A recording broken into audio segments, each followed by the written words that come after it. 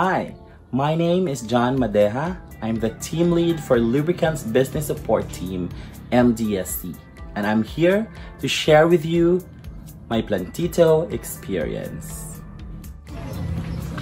It was July when I decided to go home learning from the government that flights are allowed uh, from Manila going to the province.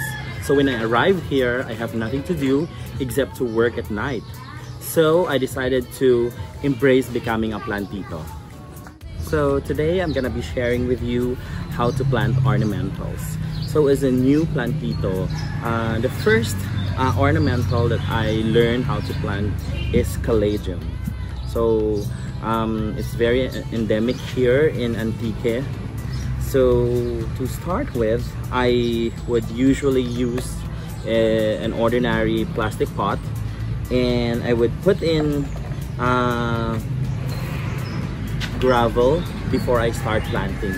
So underneath my pot, there's gravel.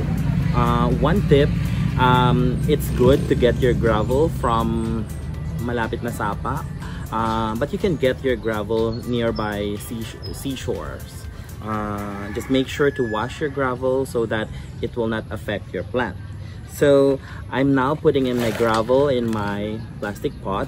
Uh, ang purpose nito, para magkaroon siya ng drainage. So, para pag nag-water ka, hindi lang mag-stay doon sa soil yung water. Um, it has a drainage system underneath.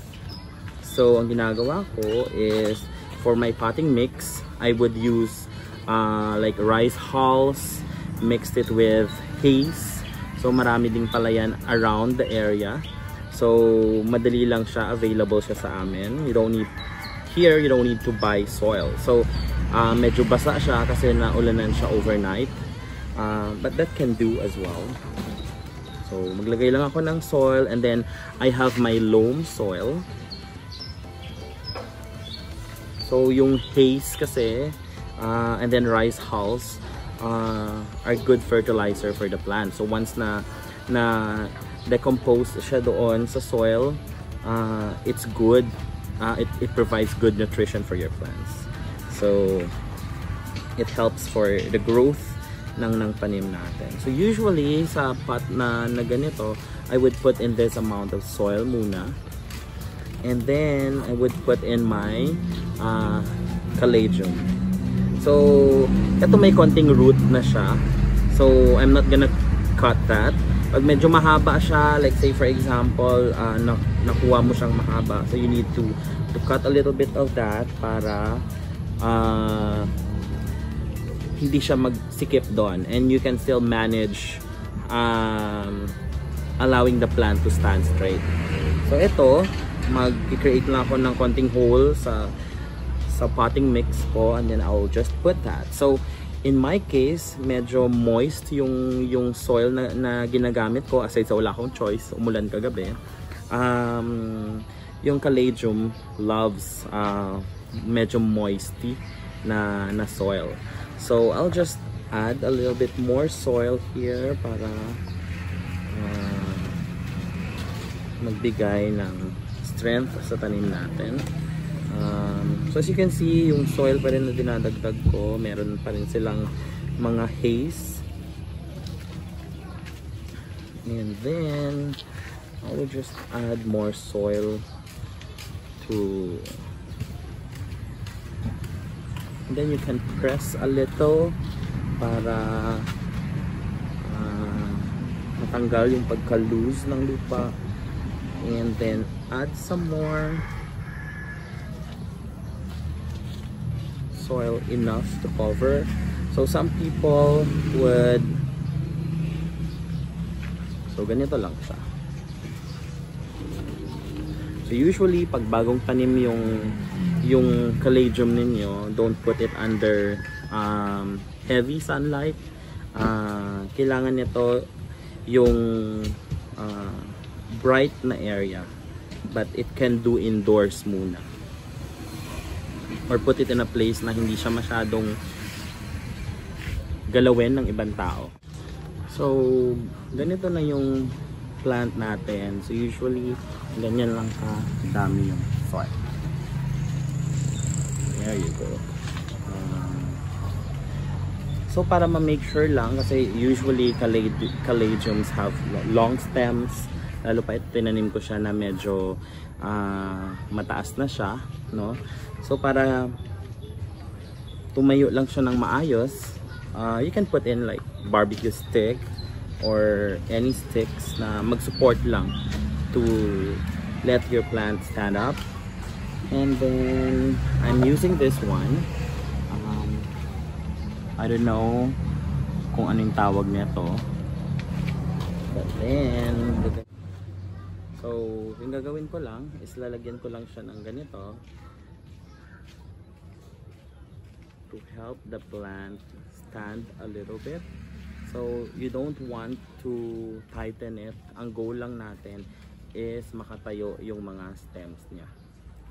So usually after like a week or two, uh, makikita mo na siya na kahit tanggalin mo na siya, it could stand alone. Sometimes makikita mo na yung old older leaves uh, nagba-brown siya. So usually pag pag caladium naman, you can cut yung mga nag-brown ng mga leaves niya and it allows uh, tiny leaves to, to sprout. So madali lang siyang patubuin. There you go.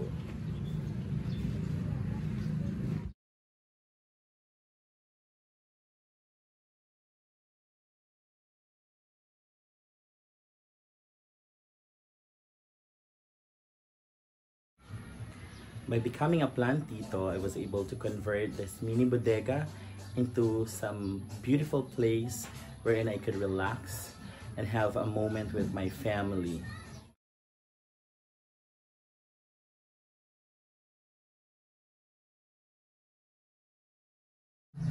So my dad painted the wall all white and then I added the element of a sofa there.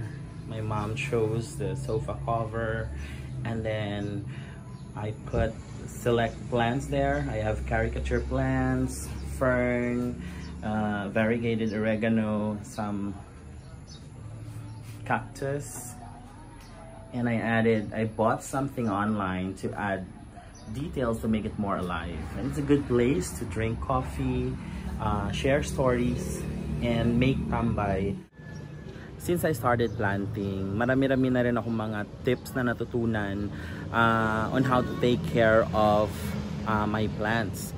So unang-una doon, uh, yung pagdidilig sa pagdidilig ng ating halaman, hindi siya kailangang dilig ka ng dilig every day. So you need to know kung um, ano yung mga needs ng halaman ninyo. So sa pagdidilig din, um, unang-una mong aalamin is kung yung like topmost soil ba niya moist. So you can touch it. Meron silang, so kung medyo pag tingin mo ng daliri mo, um, basa siya, So, ibig sabihin doon, hindi mo siya kailangan diligan pa. So, this one, uh, while mukha siyang basa, no? Pero pag ginanon natin, uh, dry na siya. So, you don't, you, you, you may need to water it. Pero, mag-aantay pa ako ng mga few more days, just like this. Another tip na masishare ko is where you put your plants. So, especially sa mga bagong tanim pa lang, hindi pa sila nag-root or um, sensitive pa yung mga tanim ninyo, put it in a place na bright pero hindi direct sunlight. So, in this, this is very ideal kasi may konting cover siya up there. It allows the, the right amount of sunlight na kailangan ng tanim pero hindi siya super uh, painful sa tanim to allow them to grow. This is a rubber tree cutting. So I planted this uh, two months ago. Uh, hindi ako nag-water propagate. So diretso sa, sa soil. And um, yung kagandahan nito is inayaan ko lang siya. So I put it in a place na hindi masyadong uh, nadadaanan ng tao, hindi nagagalaw. So yun yung kailangan nila. No direct sunlight as well. Um, I'll just take this out. Um, so what I would usually do para ma-energize sila, uh, mahilig ako mag-coffee, ng brewed coffee. So eto oh, I would just take a small amount of this Tapos, maglalagay lang ako marapit sa puno niya. So, just like tayong mga tao, no? Na-energize tayo. So, what I notice is I put it in my calatheas, I put it in my aglonimas, and uh, mabilis sumibol yung mga yung mga tanim. So you can try it also. Just put a little. So dito, sobrang happy ako dito sa sa rubber tree na to kasi it sprouted not just one leaf but a lot of nodes at maraming leaves. So I waited for two months and then seeing this, it brings me joy.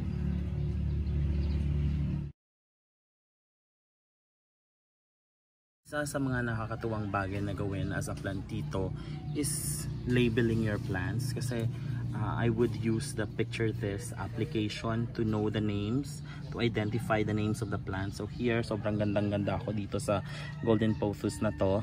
So I named that. I even bought yung um, name tag na to.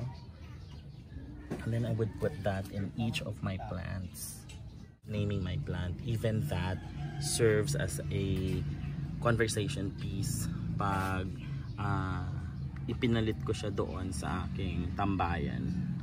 Kasi nako curious din yung mga visitors kung ano yung mga pangalan ng mga tanim.